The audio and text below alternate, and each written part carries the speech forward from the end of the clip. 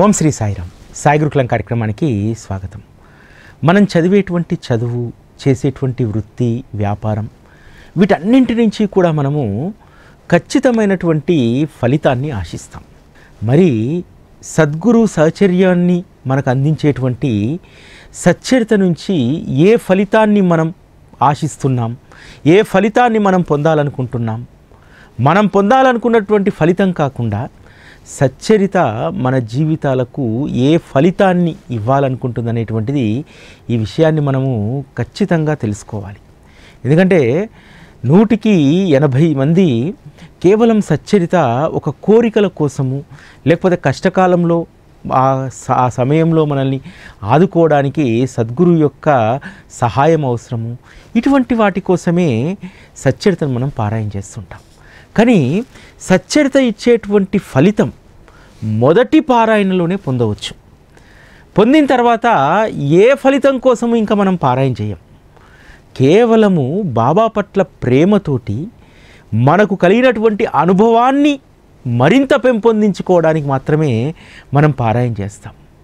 శ్రీ సాయి సచ్చరిత నీకు చెప్పేటువంటి ప్రధానమైనటువంటి సూత్రము నీకు ఇచ్చేటువంటి అల్టిమేట్ ఫలితం ఏమిటంటే నువ్వు నీ జీవితంలో తృప్తిగా ఎలా ఉండాలి అనేటువంటి దాన్ని శ్రీ సాయి సచ్చరిత తెలియజేస్తుంది. తృప్తిగా ఉండడం వల్ల ఏమి లాభం ఏమి జరుగుతుంది తృప్తికరమైనటువంటి జీవితాలు ఉంటే అంటే తృప్తికరమైనటువంటి జీవితం అలవర్చుకున్నటువంటి వారికి మాయ దరి చేయదు మీ జీవితంలో మాయకిక స్థానం అస్సలు ఉండదు ఎందుకంటే నీకు ఏమి కావాలో నీకు ఇచ్చినటువంటి భగవంతుడు నేను పెట్టినటువంటి స్థితిలో నువ్వు ఆనందంగా ఉండగలిగితే మాయ నిన్ను ఇంకెక్కడికి కూడా లాక్కెళ్ళదు. ఎవరికైతే తృప్తికరమైనటువంటి జీవితం ఉండదు వాళ్ళు ఎప్పుడూ కూడా అందనటువంటి దానికోసము పైకి ఎగబాకుతూ ఉంటారు. అలా ఎగబాకుతున్నటువంటి స్థితిలో మాయ నిన్ను ఇంకా ప్రలోభ పెట్టి ఇంకా ఎగురు ఎగురు ఎగురు అది నీకు అందుతుంది అందుతుంది అందుతుంది అని చెప్పి మాయ ప్రోత్సహిస్తూ ఉంటుంది నిన్ను. దాంతో జీవితంలో చాలా భాగం గడిచిపోతుంది. నువ్వు ఈ జన్మలో చేయాల్సినటువంటి నీ జీవితానికి సార్థకత చేకూర్చుకోవాల్సినటువంటి పనులేవి కూడా చేయకుండా కేవలం నువ్వు అందనటువంటి దానికోసము ఎప్పుడూ కూడా పాకులాడుతూ ఉంటావు. మాయ అంటే ఇదే. మాయ దానికి ఒక ప్రత్యేకమైనటువంటి రూపము దానికి ప్రత్యేకమైనటువంటి స్థానము ఏమీ ఉండదు. మాయ ఎక్కడో ఉండదు. మాయ నీ మనసులోనే ఉంటుంది. ఆ విషయాన్ని సచ్చరిత చాలా స్పష్టంగా చెప్తుందన్నమాట. నువ్వు ఎప్పుడైతే తృప్తికరమైనటువంటి జీవితంలో ఉండవో నిత్యము కూడా అసంతృప్తితో ఉంటావో మాయ ఎప్పుడూ కూడా నిన్ను పెనవేసుకొని ఉంటుంది. పెనవేసుకొని నిన్ను ముప్పు తిప్పల పెడుతూ మూడు చెల్లర నీళ్ళు తాగిస్తూ ప్రపంచమంతా నిన్ను తిప్పుతూ ఉంటుంది. ఇదే మాయ. లేని దానికోసం ఆరాటపడకుండా అందనటువంటి దానికోసం ఎగిసి పడకుండా మన జీవితాన్ని ఎట్లా మలుచుకోవాలనేటువంటిది శ్రీ సాయి సచ్చరిత చెప్తుంది. ఎందుకంటే మాయ ఎప్పుడూ కూడా మనల్ని గమనిస్తూ ఉంటుంది. ఎప్పుడెప్పుడు ఆ వలలో పడతారా అనేటువంటిది. కానీ ఎవరైతే అటెన్షన్గా ఉంటారో సద్గురువు యొక్క చరణాలు మాత్రమే ధ్యానించేటువంటి స్థితికి వస్తారు. అటువంటి వారిని మాయ దరి చేరదు.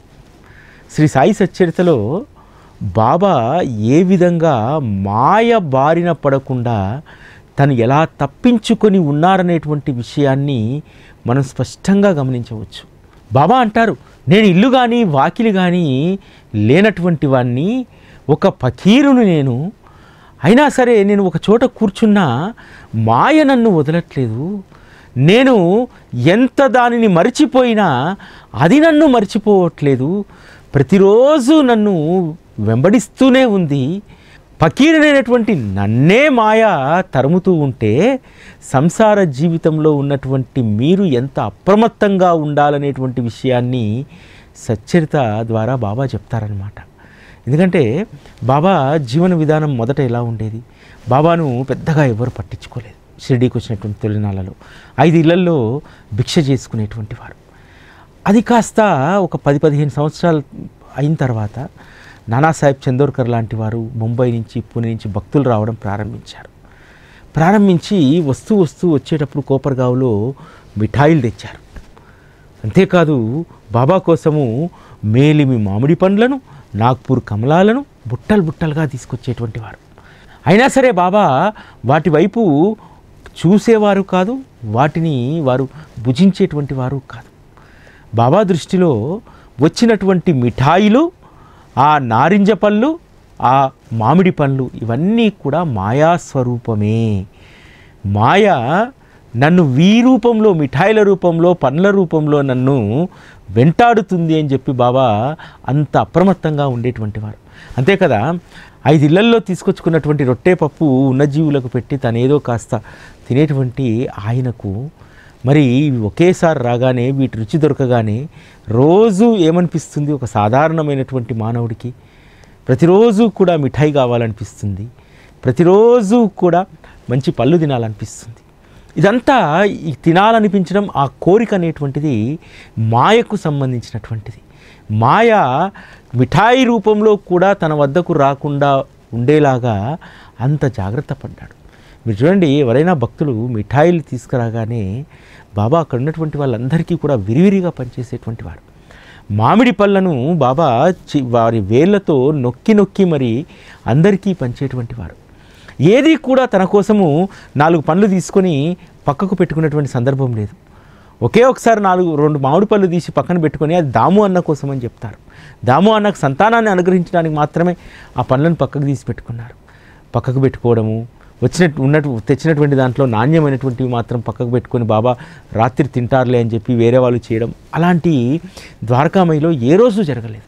ఎందుకంటే తన ధరించినటువంటి ఆ చిరిగిన కఫ్ని తనకున్నటువంటి ఆ భిక్షాపాత్ర కొలంబ సటక ఇవి తప్ప వేటిని కూడా కొత్త వాటిని బాబా తన వద్దకు రానివ్వలేదు.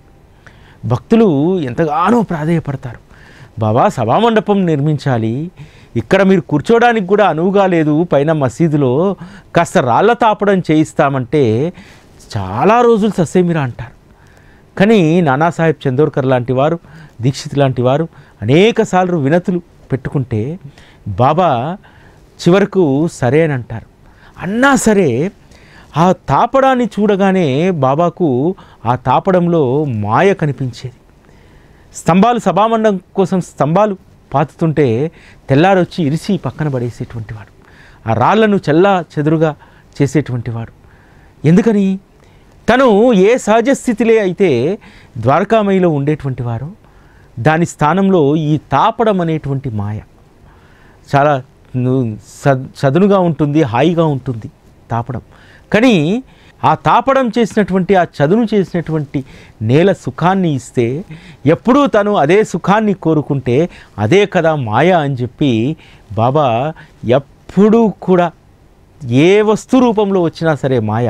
దానిని తీసి బయటపడేసేటువంటి వారు బాబా కోసము అనేక మంది వెండి పళ్ళాలు తెచ్చిచ్చేటువంటి వారు ఆ వెండి పళ్ళాలు కేవలం బాబాకు హారతులు ఇవ్వడానికి బాబా ముందు నైవేద్యం పెట్టడానికి ఉపయోగపడ్డాయే తప్ప బాబా ఏ రోజు కూడా వెండి పళ్ళెంలో భోజనం చేయలేదు. ఆ వెండి పళ్ళెం కూడా బాబా మాయా స్వరూపంగా భావించాడు. ఆ విధంగా తన వద్దకు వచ్చేటువంటి ప్రతి వస్తువు ఈవెన్ పల్లకీని కూడా బాబా కనీసం ముట్టుకోలేదు. భక్తులందరికీ ఆశ బాబా పల్లకిలో ఊరేగాలనేటువంటిది. పురందరే లాంటి వారికి ఆశ బాబాను పల్లకిలో కూర్చోబెట్టుకొని మోయాలని చెప్పి. కానీ బాబా మాత్రము ఆ మాయా అనేటువంటి పల్లకిలో నేను ఎక్కను అని చెప్పి ఒక్కరోజు కూడా ఆ పల్లకిలోకి ఎక్కలేదు. కానీ ఈరోజు మన స్థితి ఏమిటో మనం ఆలోచించుకోవాలి. బాబా వద్దకు చేరినటువంటి మనము మాయా వస్తువులనే కోరుకుంటున్నాం. బాబా సహచర్యాన్ని చాలా తక్కువగా కోరుకుంటాం. మాయా వస్తువులనే మనం ఎక్కువగా కోరుకుంటాం. బాబా పక్కన వాళ్ళ ఇంట్లో పెద్ద డబుల్ డోర్ ఫ్రిడ్జ్ ఉంది మా ఇంట్లో సింగిల్ డోర్ ఫ్రిడ్జ్ ఉంది. నాకు కొనుక్కునేటువంటి స్థితి ఎప్పుడు ఇస్తావు అని చెప్పి అడుగుతున్నాం. అదేవిధంగా రకరకాలైనటువంటి వస్తువుల కోసం రకరకాలైనటువంటి వ్యామోహాల కోసం బాబాని అడుగుతున్నాం. బాబా ఏ లక్ష్యంతో అయితే వారి యొక్క అవతార కార్యం కొనసాగించారో. తన భక్తుల యొక్క స్థితిగతులు ఎలా ఉండాలని చెప్పి ఆయన కోరుకున్నాడో. దానికి పూర్తి విరుద్ధంగా ఈరోజు మన ప్రవర్తన మన యొక్క నైజాలు ఉన్నాయి. ఎందుకంటే బాబా దగ్గరికి వచ్చిన తర్వాత తృప్తికరమైనటువంటి జీవితాన్ని కాకుండా మనము వస్తు సమ్మేళనంతో కూడినటువంటి జీవితాన్ని కోరుకుంటున్నాం. బాబా దేని నుంచి అయితే మాయ ఉద్భవిస్తుందో ఏదైతే నిన్ తన భక్తుని మాయలో పడేయకూడదనుకుంటున్నారు. వాటినే మనం కోరుకుంటున్నాం. బాబానేమో మాయకు అతీతులుగా ఉండమని చెప్పి మనకు చెప్తుంటే మనమేమో మాయనే ఆలింగనం చేసుకుంటూ ఉన్నాం. మీకు ఈ సందర్భంగా ఒక అనుభవాన్ని మీకు చెప్తాను. పూణేలో ఒక వ్యాపారి ఉండేవాడు వ్యాపారి బాబా భక్తుడు. బాబా దయ వల్ల వ్యాపారంలో మంచి లాభాలను గడించేటువంటి వాడు. వ్యాపారం కూడా వృద్ధి చెందింది.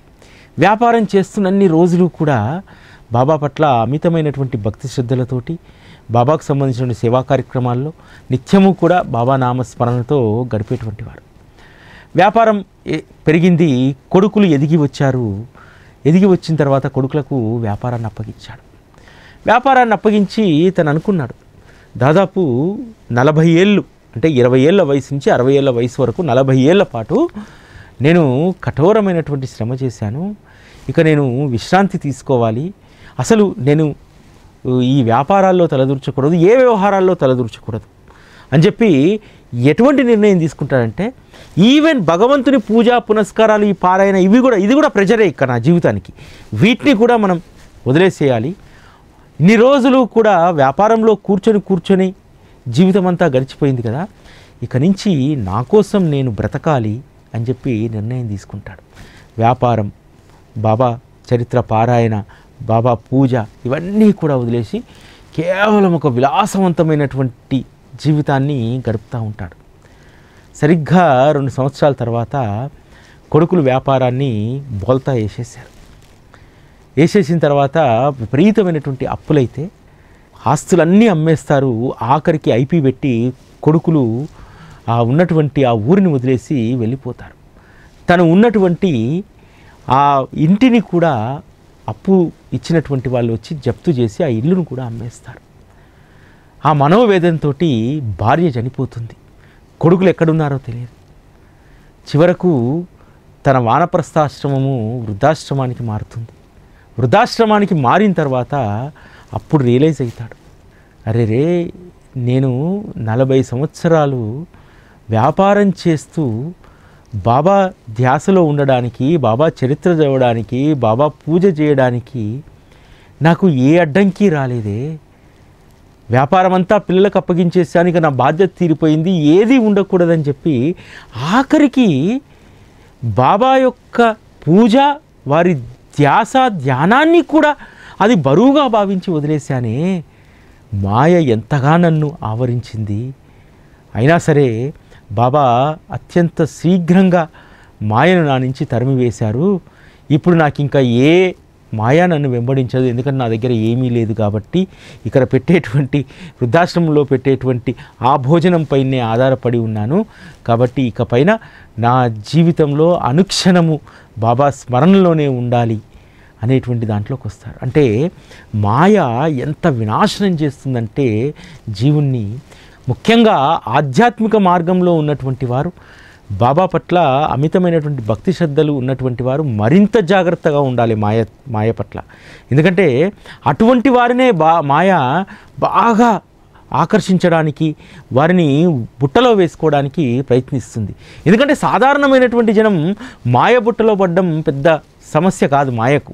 కానీ మనలాంటి వారు కాస్త బాబా పట్ల భక్తి శ్రద్ధలు కలిగినటువంటి వారు అంత త్వరగా మాయలో పడరు.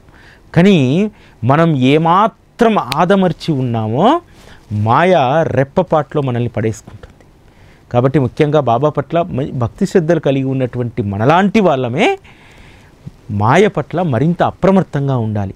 అందుకనే శ్రీ సాయి సచ్చరిత ప్రతి అధ్యాయంలో అదే బోధిస్తుంది. మాయ పట్ల మనం ఎంత అప్రమత్తంగా ఉండాలి? బాబా యొక్క జీవన విధానాన్ని వారు తన వద్దకు వచ్చినటువంటి వాటిని తిరస్కరించినటువంటి తీరును మనం గమనిస్తే మాయ పట్ల మనం ఎంత అప్రమత్తంగా ఉండాలో మనకు అర్థమవుతుంది. బాబా ఎప్పుడూ కూడా ఎంత అటెన్షన్గా ఉండేటువంటి వారంటే భక్తుల యొక్క ప్రేమను బాబా కాదనేటువంటి వారు కాదు. ఎందుకంటే బాబా కోరుకున్నటువంటిది భక్తుల యొక్క ప్రేమనే. ఆ ప్రేమ కాస్త మాయా మోహంలో పడేస్తుందేమో అనేటువంటి దాంట్లో కూడా చాలా అప్రమత్తంగా ఉండేటువంటి వారు. ఎందుకంటే భక్తులకు ఆ రోజు ఏమాత్రం కొంచెం సంధిచ్చిన బాబా. ద్వారకామై ప్యాలెస్ అయిపోయేది. ఈ రోజు దాకా అవసరం లేదు బంగారు సింహాసనాలు. ఆ రోజే వచ్చేసేటివి. కానీ ఆ రోజు బాబా నిక్కచ్చిగా వ్యవహరించడంతో మాయ అనేటువంటి దాన్ని తన దరి చేరకుండా వారికి వారు ఎంత అప్రమత్తంగా ఉన్నారనేటువంటిది సచ్చరిత మనకు తెలియజేస్తుంది. అంతెందుకు బాబా తనకు వచ్చినటువంటి దక్షిణను కూడా ఏ రోజు కూడా నిల్వ ఉంచుకోలేదు. మసీదులో అవసరమైనటువంటి వస్తువుకు మించి దేనికి స్థానం కల్పించలేదు. హర్దా నుంచి వెండి పల్లకి పంపిస్తే మసీదు మెట్లపైకి కూడా దాన్ని ఎక్కనీయలేదు బాబా. అది కేవలం సభామండపంలోనే ఉండిపోయింది. ఎంతమంది భక్తులు అడిగినా బాబా ఒక్కసారి ఊరేగండి అన్న. బాబా ఏ రోజు కూడా ఆ పల్లకి వైపు కనుచూపుతో కూడా చూడనటువంటి సందర్భం. ఎందుకోసం? ఎందుకోసం అంటే మాయ అనేటువంటిది ఏ రూపాన్నైనా దాలుస్తుంది. ఆ అది రూపానికి అతీతమైనటువంటిది. ఈ రూపంలో వస్తుందని చెప్పలేం. అందుకనే బాబా ఎప్పుడూ కూడా చాలా అప్రమత్తంగా ఉండేటువంటి వారు. ఈరోజు మనం సచ్చరిత నుంచి మనం నేర్చుకోవాల్సినటువంటిది మాయ నుండి ఎంత అప్రమత్తంగా ఉండాలని చెప్పి. తన భక్తులకు మాయ ఏ కొంచెం కూడా అంటకూడదని చెప్పి ఈవెన్ తన ఆరాధనకు సంబంధించినటువంటి విషయంలో కూడా బాబా చెప్పినటువంటి మాట. నాకు పూజతో కానీ పునస్కారంతో కానీ అష్టోత్తరంతో కానీ షోడశోపచార పూజలతో కానీ సంబంధం లేదు. అపరిమితమైనటువంటి భక్తి ఉన్న చోటే నా నివాసం అన్నాడు. అంటే మళ్ళీ నాకు పూజా పునస్కారాలు చేయడానికి వీడు వండి వెండి వస్తువో వెండి కలశమో రాగి కలశమో ఇంకోటో ఇంకోటో కొనడానికి వీడు మాయలో పడతాడు నా వాడనేటువంటి వాడు. అందుకని నాకు ఏ పూజా పునస్కారాలతో అవసరం లేదు ఏ అష్టోపచారాలు ఏ వేటికి ఇక్కడ పని లేదు కేవలము అపరిమితమైనటువంటి భక్తి. నిజంగా మనకు బాబా పట్ల అపరిమితమైనటువంటి భక్తి కుదిరిందనుకోండి. బాబాకు మన మానసిక పూజతోటి వారిని అర్చించుకోవచ్చు. మానసిక పూజకున్నంత శక్తి షోడశోపచార పూజకు ఉండదు. ఇక్కడ ఒక గొప్ప విషయాన్ని మనం అర్థం చేసుకోవాలి. భగవంతుని ఆరాధించాలంటే భగవంతుని స్మరణ చేయాలంటే భగవంతుని కీర్తన చేయాలంటే దానికి ఒక సమయము ప్రదేశము ఇవన్నీ కావాలి. కానీ బాబాను ఆశ్రయించినటువంటి మనకు అనునిత్యము అంతరంగంలో పూజ జరుగుతూనే ఉంటుంది. అంతరంగంలో వారి స్మరణ జరుగుతూనే ఉంటుంది అంతరంగంలో వారి కీర్తన జరుగుతూనే ఉంటుంది. కాబట్టి బాబా చెప్పినట్టు మనము ఎవరమైతే అపరిమితమైనటువంటి భక్తితో ఉంటాము అటువంటి భక్తిని బాబా ఇష్టపడతారు. అటువంటి భక్తిని అలవర్చుకోవడం వల్ల మనము మాయ అనేటువంటి దాని నుంచి తప్పించుకోవడానికి మాయ మన దరి చేరకుండా ఉండడానికి ఇంతకు మించినటువంటి సాధనము మరొకటి లేదు. అపరిమితమైనటువంటి భక్తి కలిగినటువంటి వారి దగ్గర నేను ఎప్పుడూ ఉంటాననేటువంటిది బాబా చెప్పినటువంటిది. ఎందుకంటే సావిత్రిబాయి టెండూల్కరు బాబా చిత్రపటానికి ప్రతిరోజు కూడా పూజ చేసేది. వకుల పుష్పాలు వచ్చేటువంటి సీజన్లో ఆ వకుల పుష్పాలతోటి పూజ చేసి బాబా చిత్రపటాన్ని ఆ వకుల పుష్పాలతో కప్పి ఉంచేది. ఒకరోజు ద్వారకామయిలో కూర్చున్నటువంటి సావిత్రిబాయి టెండూల్కర్ను ఉద్దేశించి బాబా అంటాడు ఈ తల్లి నన్ను మూడు నెలలు మత్తులో ముంచెత్తింది. ఆ మత్తులో నిద్రలోకి జారిపోయేటువంటి వాడిని ఇప్పుడిప్పుడే ఆ మత్తు నుంచి తేలి బయటికి వస్తున్నాను అని అంటారు. అంటే నీ యొక్క అపరిమితమైనటువంటి ప్రేమ ఎంత గొప్పదో అక్కడ ఆలోచించండి. ఎటువంటి షరతులు లేవు. కేవలము బాబాను పూలతో కప్పాలి. బాబాకు ఈ వక్కుల పుష్పాల యొక్క సుగంధం బాబా పీల్చుకోవాలి అనేటువంటి దాంతోటే అక్కడ పరిమితులు ఏమీ లేవు. స్వచ్ఛమైనటువంటి ప్రేమ మాత్రమే అక్కడ ఉంది. అంతేకాదు సాధు భయ్య ఎక్కడ ఎవరితో మాట్లాడినా బాబాకు సంబంధించినటువంటి విషయాల ప్రస్తావన ఎక్కువగా చేసేటువంటి వారు అటువంటి సాధు భయ్య వీధిలో సాయంకాలం వాక్ చేస్తున్నప్పుడు నడుస్తున్నప్పుడు ఒక పకీరు వచ్చి చెయ్యి తగిలిచ్చి చేతిలో పళ్ళు కుట్టుకునేటువంటి టూత్పిక్ చేతిలో పెట్టి వెళ్తాడు. అది చూసినటువంటి సాధుబయ్య అంటాడు. ఇప్పుడు మనకు ఎదురుపడినటువంటిది సాధారణమైనటువంటి పకీర్ కాదు బాబాయ్ ఎదురుపడ్డాడు. చూడు నేను ఇంట్లో నుంచి వచ్చేటప్పుడు టూత్పిక్ లేదు ఇప్పుడు టూత్పిక్ ఉంది అని అంటాడు. అంటే నిరంతరము కూడా వారి ధ్యాసలో ఉన్నటువంటి వారికి ఎటువంటి అనుభవాలను బాబా ఇస్తాడు? అపరిమితమైనటువంటి భక్తికి ఏ విధంగా బాబా లొంగుతారనేటువంటిది సాధుబయ్య యొక్క సంఘటన నిదర్శనం. అంతేకాదు పురందరే అంటే బాబాకు చాలా ఇష్టం. బాబా షిరిడీలో ఉన్నారు. చాలామంది బాబా యొక్క చిత్రపటాలు ఇళ్ళలో పెట్టుకున్నారు. కానీ బాబా ఎప్పుడు అంటుండేటువంటి వారు అరే పురందరే ఇల్లు కట్టుకో నీ ఇంట్లో నేను ఉండాలిరా అని అంటుండేవారు. అయినా సరే పురందరే నిర్లక్ష్యం చేస్తే బాబా వెంటబడి మరి ఇల్లు కట్టిస్తాడు. గృహప్రవేశం రోజు ఎంత అద్భుతమైనటువంటి అనుభవం. పురందరే బాబా పటం పట్టుకొని కొత్త ఇంటికి గృహప్రవేశానికి వెళ్తుంటే బాబా స్వయంగా పురందరే పక్కన నడుచుకుంటూ ఆ ఇంట్లోకి వస్తాడు. అంతకంటే గొప్ప అనుభవం ఏముంటుంది? ఇది అపరిమితమైనటువంటి భక్తికి ఇది నిదర్శనం. ఇటువంటి అపరిమితమైనటువంటి భక్తి ఉన్న చోట బాబా ఉంటాడు. అపరిమితమైనటువంటి భక్తి ఉన్నటువంటి వారి పట్ల మాయ విముఖతతో ఉంటుంది. ఈ కలియుగంలో మాయకు రూపం లేదు. అటువంటి రూపం లేనటువంటి మాయను మనం జయి జయించాలంటే ఒకే ఒక సాధనం ఈరోజు మన ముందల ఉన్నటువంటిది. ఎవరైతే గురు కథాశ్రవణంలో ఉంటారో ఆ గురు కథాశ్రవణంలో ఉన్నటువంటి వారికి మాయ అనేటువంటిది దరిచేరదు. ఎందుకంటే హేమాట్ పంత్ చెప్పినట్టు ఇది కల్మషరహితమైనటువంటి గంగానది వలె అత్యంత పవిత్రమైనటువంటిది శ్రీ సాయి సచ్చరిత. అటువంటి గంగాజలంలో అనునిత్యము మునిగేటువంటి వారి యొక్క కల్మషాలు ఏ విధంగా తొలగిపోతాయో నిత్యము సాయి కథా శ్రవణంలో ఉన్నటువంటి వారికి వారి యొక్క పాపకర్మలన్నీ తొలగిపోయి అపరిమితమైనటువంటి భక్తి విశ్వాసాలు కలుగుతాయి. సచ్చరిత గొప్పతనం గురించి హేమాట్ పంత్ రాసినటువంటి మాట దీనికంటే గొప్ప మాట ఇంకెవరు రాయలేం. సచ్చరితను అమృతంతో పోలుద్దామనుకుంటే అమృతం కేవలం మధురంగా ఉంటుంది. కానీ శ్రీ సాయి సచ్చరిత అంతకు మించినటువంటి దాన్ని జన్మరాహిత్యాన్ని ఇస్తుంది. ఎస్ అమృతము కేవలం ప్రాణాలను కాపాడుతుంది. కానీ శ్రీ సాయి సచ్చరిత గురు కథాశ్రవణం అనేటువంటి దానితోటి సద్గురు యొక్క పాదాలలో ఎప్పుడూ కూడా ఎన్ని జన్మలు మారినా ఎన్ని యుగాలు మారినా సద్గురువు యొక్క చరణాల వద్ద రమింపచేసేటువంటి అదృష్టాన్ని శ్రీ సాయి సచ్చరిత ఇస్తుంది. అందుకోసం మన జీవితాలకు శ్రీ సాయి సచ్చరిత అవసరం. ఇది ఈరోజు సాయి గురుకుల. మళ్ళీ రేపటి కార్యక్రమంలో కలుసుకుందాం. అప్పటి వరకు సెలవు. నమస్కారం.